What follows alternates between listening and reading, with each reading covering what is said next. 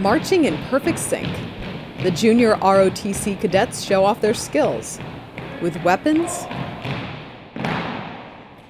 drill commands, and tricky steps.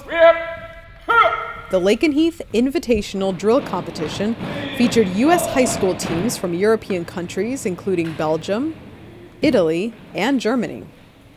We actually have a drill team that can do this, and even though we were small, 12 people against schools who had at least 20 plus, we came second overall, and, but all I can say is that I'm proud of my drill team.